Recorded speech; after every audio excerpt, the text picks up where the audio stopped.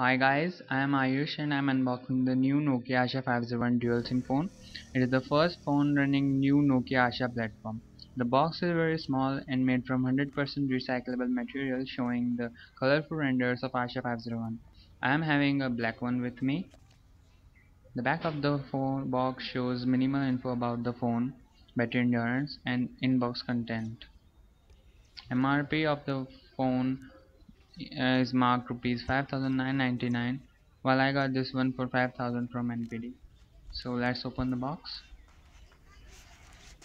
The phone is placed on top and a sticker on the screen highlighting the new fast lane feature. It has a solid build design doesn't feel like a cheap phone though it is just 5000 bucks.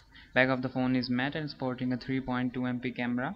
On top we have audio jack micro USB and charging ports um, bottom we have nothing and right we have volume rocker and the lock button. On front we have back key and a 3 inch QVGA display. Let's see what else we have in the box. First up is 1200 mAh battery which may last up to 26 days on standby.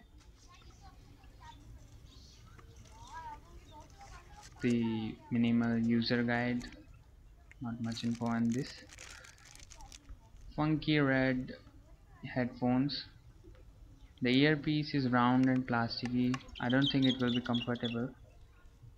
There is a mic given in headset but no button for ending and taking calls. That's disappointing.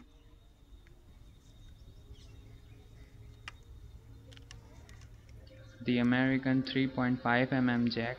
It will work only with this phone and Windows phones.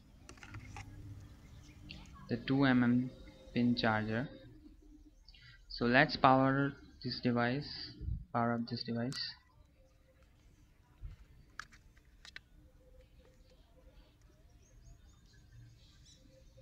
The inside parts are packed quite compactly. The phone is made in India. We have sim 1 slot sim 2 slot and micro SD card slots. Let's slide in the battery and the cover.